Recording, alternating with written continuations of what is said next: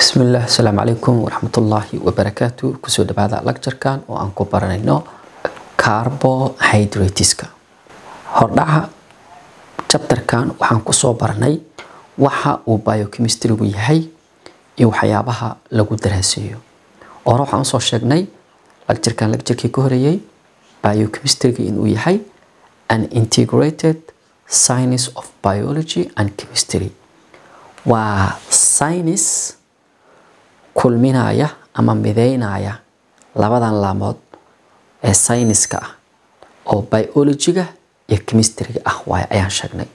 Labadaas laamood ayuu mideeyaa.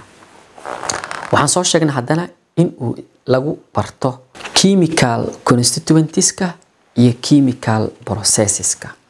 Chemical processeska waxaan dhahnay waa metabolism waaye metabolismkana waa is the sum of catabolism iyo anabolism ayaan ku soo sheegnay. Chemical constituenteskana waxaan ku soo sheegnay waxaa loo yaqaanaa nown as biomolecules. Biomoleculeska waxaan u qaybinay afar qaybood carbohydrates proteins fatis and nucleic acids ayaan dhahnay. Lacturkan waxaan ku baranaynaa afarta qaybood ee biomoleculeska aan u qaybinay mid ka mid ah oo lagu magacaabo carbohydrateska ayaan ku baranaynaa. Carbohydrateska marka aan ka hadlayno waa mid ka mid ah organic compoundyada ugu caansan wuxuuna iska yeelan doonaa ama uu leeyahay general formula lagu yaqaan.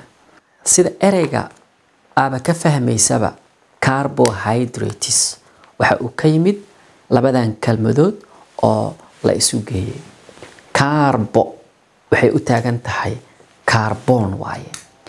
Hydratesna waxa ay u taagan tahay ama laga wadaa water ayaa laga wadaa waa. Waa carbon iyo water oo wada socda ayaa waxaa la isku dhahaa carbohydrates la dhahaa waa. Waa maxaa carbonhydrate haddiina la dhaho? Labadansiba waan u qeexi karnaa oo waxaan dhihi karnaa carbohydrates are the most abundant organic compound is why waa isku dhisyada organicada kuwooda ugu caansan waay oo marka la fiiriyo weliba xagga natureka in nature dabiici ahaan marka la fiiriyo maxaa yeelay carbonhydrateska waxaa laga heli karaa dhammaan noocyada cuntada aan cunno intooda badan ayaa laga heli cuntooyinka dhan aa ujeedaan waa cuntooyin carbonhydrateska laga heli karo waay waxayna iska leeyihiin general formula qaacido guud oo lagu yaqaano ayaa jirto waa qaybta hadda aan sheegnay carbo oo carbon ah iyo hydrates oo water ah waay. Carbo oo carbonti ah oo sub x la dhihi doono.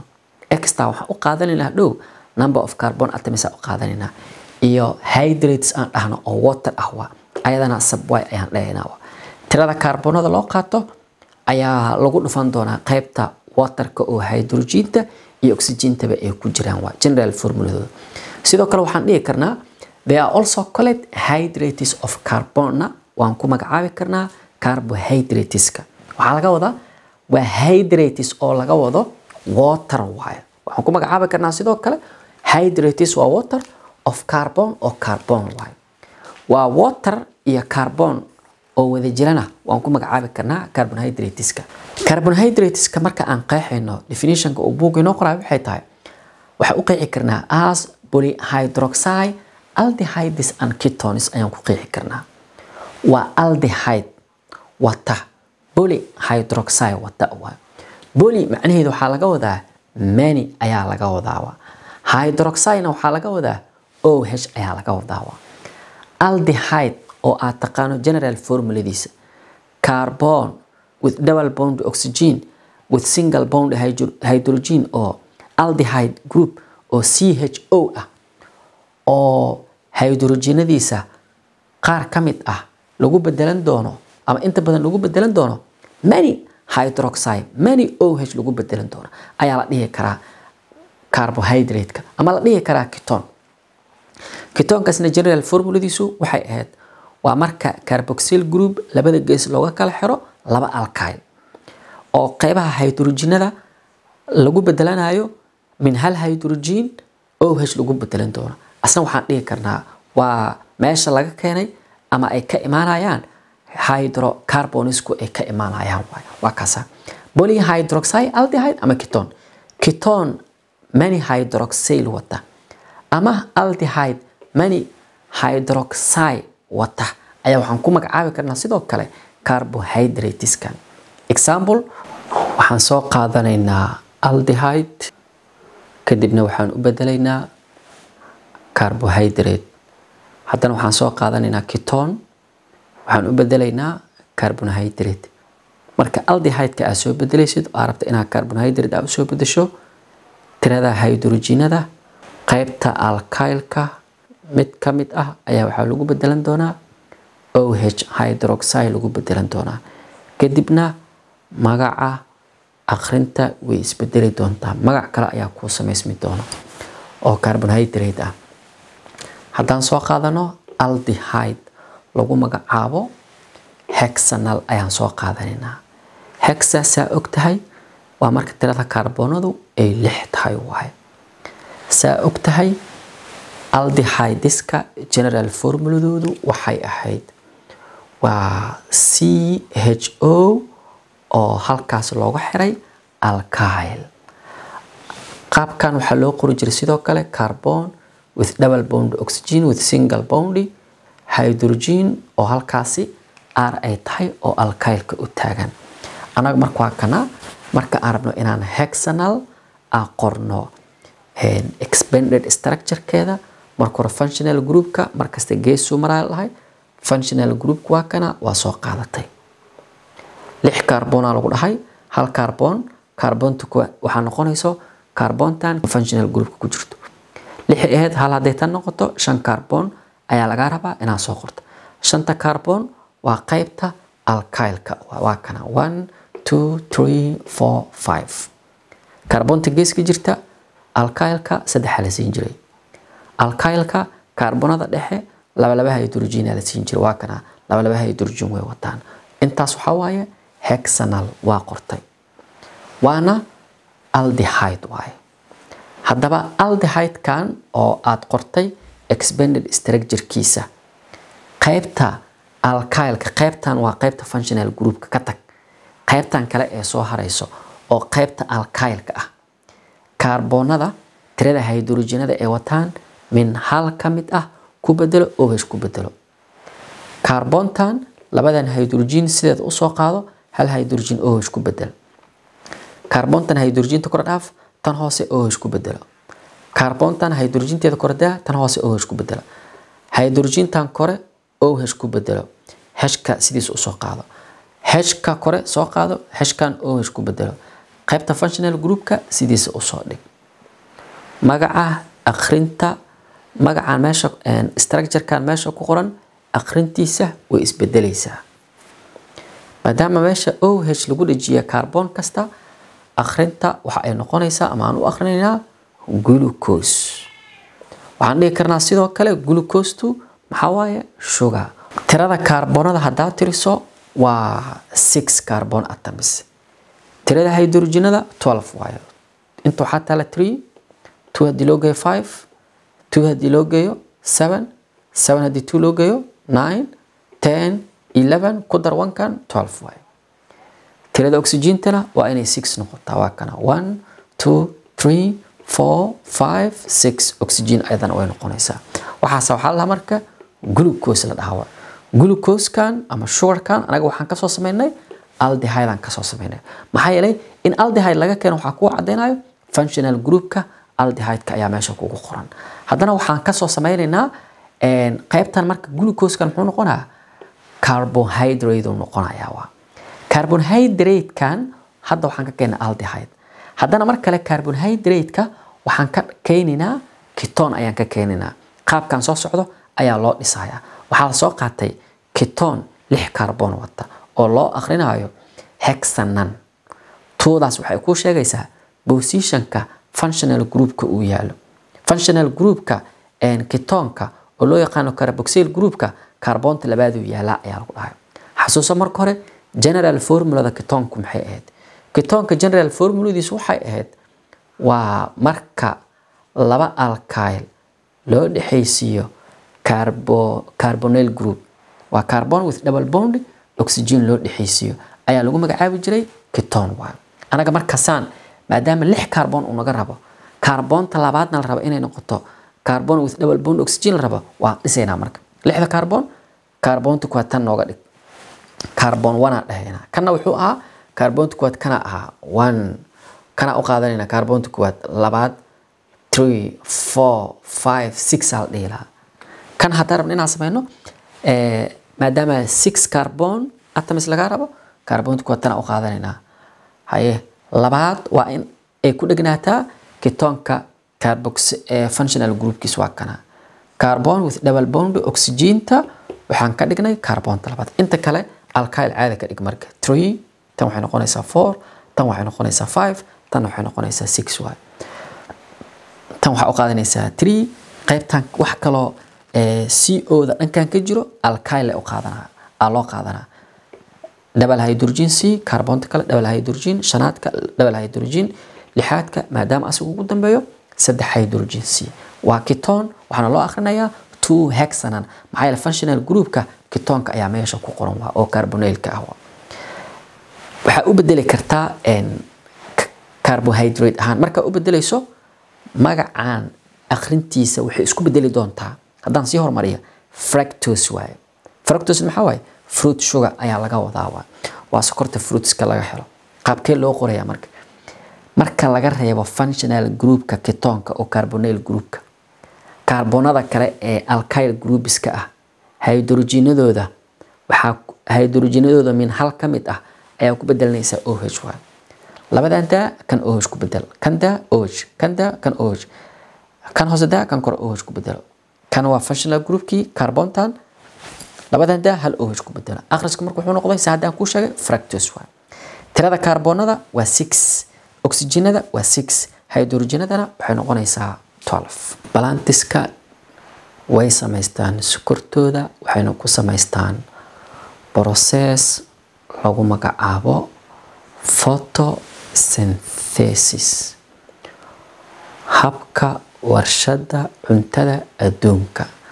Sababta loogu magacaabo waxa ay tahay animaliska noloshooda. Inta badan waxa ay ku xiran tahay balantiska thats why loogu magacaabayo photosynthesiska habka warshada cuntada adduunka loogu magacaabayo. Balantisku marka ay rabaan in ay samaystaan cuntadooda waxa ay hawada ka qaataan neef lagu magacaabo carbon dioxide. Sidoo kale dhulka ayaa waxa xididada geedkaasi uu ka soo nuugaa water biyo labadaa marka ay midoobaan waxa ay helaan haddana sunnyslide iftiinka qoraxda sidoo kale geedka caleemihiisa ayaa intaasi waxa ay ku daraan maado loo yaqaano colorophyl oo caleemaha laga heli karo cagaariye loo yaqaano. Intaasoo dhan marka ay midoobaan geedka waxa uu samaysanayaa sonkor lagu magacaabo glucose oo aan structurekeeda hadda soo qornay oo lix carbon labaiyo toban hydrogen iyo lix oxygen ah ayaa samaysmayo sidoo kale geedka marka uu sokortaasi samaysto wuxuu iska soo saaraa neeftan carbon dioxide-ka wuu qaatay bedelkeed wuxuu environmentiga ama hawada uu ku soo daayaa neef lagu magacaabo oxygen ayuu soo saarayaa marka waa balanti synthesize carbohydrateska waa kasaa dhirtu way samaystaan carbohydrateska glucoska ah waay through photosynthesiska hadda aan sheegayno ayay ku samaysanayaan qaybtan kale waxaan ku baranaynaa carbohydrateska ayaan kala qaybinaynaa. Ayagoo faahfaahsan ayaa haddana mid mid aan u sheegi doonaa.